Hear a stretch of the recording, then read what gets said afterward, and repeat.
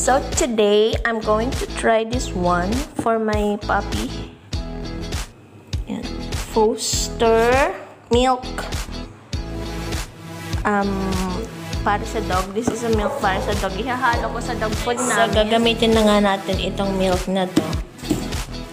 Foster milk. Ayan. Gagamitin na natin. So, meron tayo ditong mineral water. Lalagay natin dun sa dog food. Sa beef pro puppy ng ating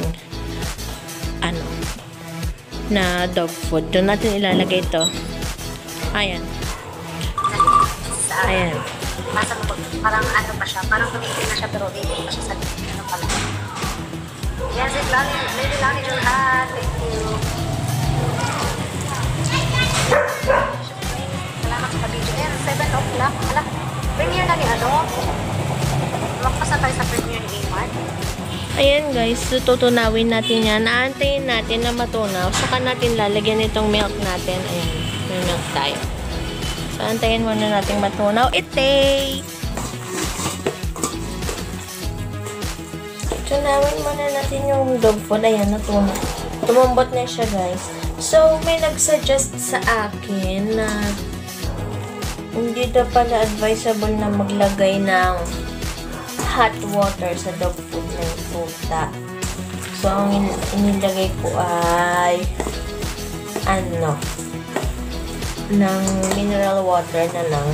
Hindi na siya mainit. Kasi, mas madali sanang matunaw pag mainit. Kaso lang, sabi daw, may nag-comment sa isang video ko na hindi daw advisable na maglagay ng hot water dito sa dog food ng tuta kasi mawawalan daw ng nutrients ang dog food.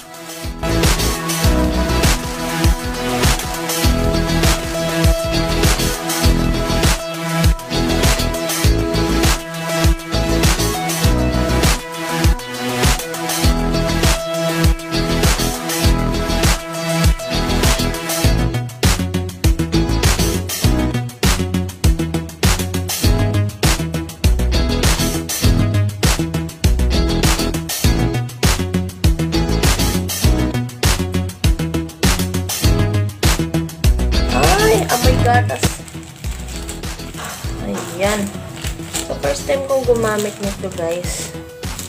Ba, Foster Milk. Baka naman. Sponsor naman dyan. So, try ko to, guys. Try ko siya.